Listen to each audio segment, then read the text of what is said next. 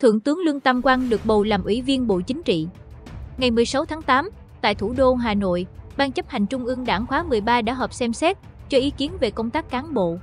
Cụ thể, Ban chấp hành Trung ương Đảng đã quyết định giới thiệu nhân sự và cho ý kiến để Bộ Chính trị giới thiệu nhân sự kiện toàn lãnh đạo một số cơ quan nhà nước nhiệm kỳ 2021 đến 2026 theo quy định.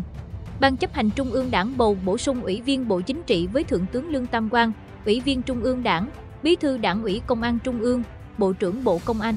Ông Lương Tam Quang 59 tuổi, quê xã Hiệp Cường, huyện Kim Động, tỉnh Hưng Yên. Ông là cử nhân chuyên ngành điều tra tội phạm, cử nhân luật, cao cấp lý luận chính trị. Hiện ông là Ủy viên Trung ương Đảng khóa 13, Ủy viên Ban Thường vụ Đảng ủy Công an Trung ương. Quá trình công tác, ông Lương Tam Quang từng đảm nhận nhiều chức vụ trong lĩnh vực an ninh, làm trợ lý Thứ trưởng Bộ Công an. Năm 2012, với quân hàm đại tá, ông làm phó chánh văn phòng Bộ Công an. Ông được thăng cấp bậc hàm thiếu tướng vào năm 2014.